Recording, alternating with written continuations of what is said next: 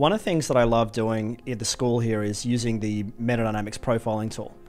And the profiling tool gives a really interesting insight. It looks at, breaks it down into four major categories for people that don't know about it, um, and then breaks it down into, I think it's um, 32 other little subcategories.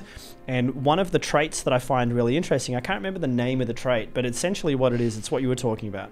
It's the ability to critically look at our strengths and our stretches. Yeah.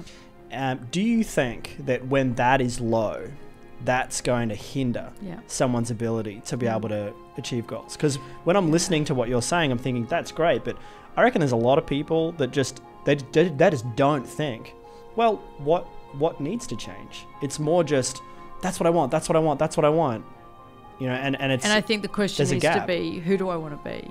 yeah It can't be what do I want. yeah It's got to be who do I want to be. yeah All my goals that we're going to go through today, you know, the goal setting strategy is based on who do I who am I growing to be? And I've been doing it now for nearly two decades. Mm. So there's been you know, what is it they say if you want to fly from here to Hawaii, not that I would right now, but if I was to fly from here to Hawaii, you just need to be 2% off course and you're arriving in the Atlantic or somewhere Right. bizarre. Right. So it's just the 2% each moment, just adjusting each year. So over two decades, if I adjust me by 2%, if I grow in an area by 2% a year, yeah that compounds. Yeah. That's a massive amount of change over two decades. yeah Rather than New Year's resolution, which is it's got to all happen. Hmm. I'm more into the incremental and just rather than what I want to have, it's who do I want to be.